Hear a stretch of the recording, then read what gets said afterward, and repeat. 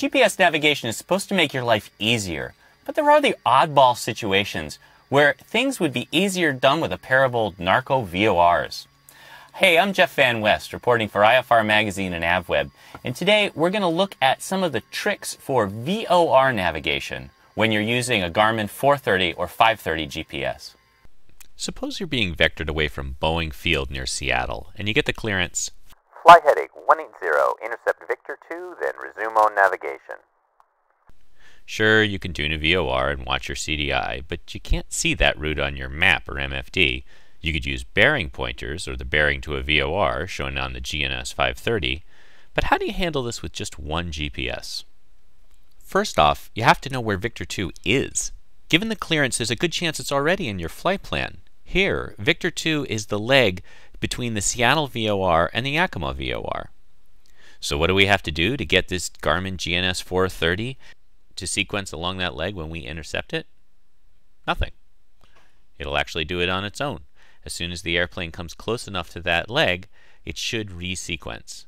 Then you can turn on your autopilot and have it follow along the rest of your flight plan. If for some reason it doesn't reactivate, what you need to do is manually activate the leg. To do that, go to the flight plan page, select the Yakima VOR, and press Menu, Activate leg should come up as the option. Enter, enter, and the leg is active. Now, on an earlier video, a number of people wrote in and mentioned that another way to activate the leg is to scroll to the waypoint, press Direct, and then Direct again, and then Enter. Same number of button pushes. I find that teaching people to use the Garmin menus opens their eyes to other features that hide inside menus, but Direct, Direct, and Enter is a fine shortcut as well.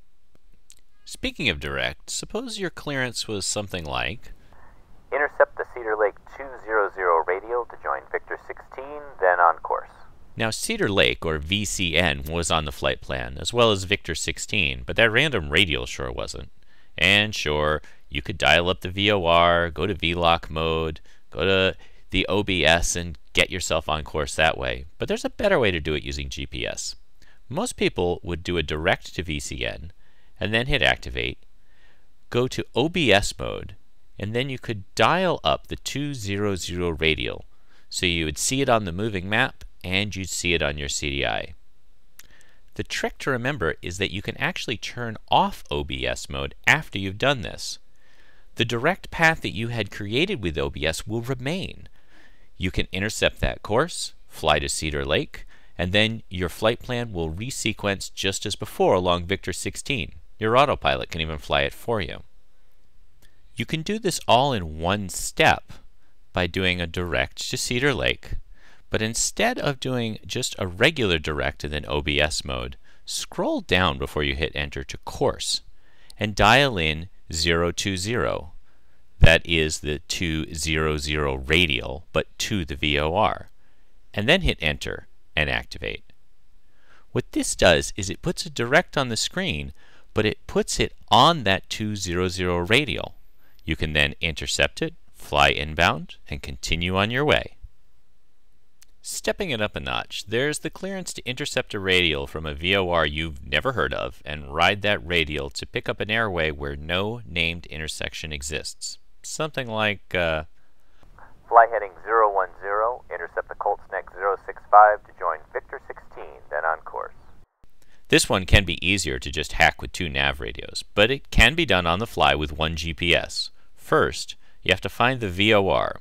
Sometimes that's easiest done via the nearest VOR page. Next, our direct to on course trick won't work because we're flying outbound from the VOR, so we'll use OBS mode and dial the outbound radial. Our autopilot still should be able to capture and fly this outbound course. This will get you halfway there, as you can find that radial and turn. Now the trick is to add a waypoint where this radial crosses Victor 16, which you'll note has disappeared from our screen due to the OBS mode. The solution is a user waypoint. Scroll all the way to the end of the waypoint group, and then turn that inner knob to start labeling a user waypoint. We'll just call it A. It doesn't really matter what you call it because you're going to delete it later when you're done. Once you've done that, hit enter. The GPS will automatically call up two relevant VORs and two radials from those VORs. Now, one of them was Colt's Neck, which we needed, so we'll dial in the 065 radial off of Colt's Neck. Now, we could define it with a distance, but we actually know it off the chart from another VOR. It's the JFK 221 radial.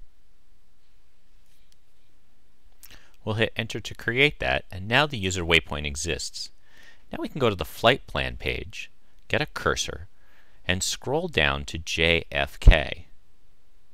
Turn the inner knob to insert a new waypoint, and dial back to A, the waypoint we created.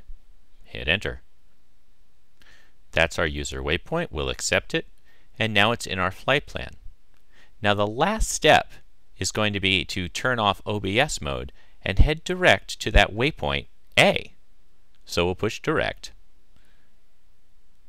We'll scroll down to the flight plan window in the direct, turn the inner knob and scroll in our flight plan to A. Press enter and activate. And now we're headed outbound to that A waypoint. Now the cool part about this is because we were outbound on the radial, when we did a direct to A, the course didn't change. But what's going to happen is when we reach that waypoint that we created, which is where the radial we're on intersects Victor 16, we'll be able to continue on course with the flight plan auto sequencing, and the GPS, if we want, can lead the autopilot through the whole thing.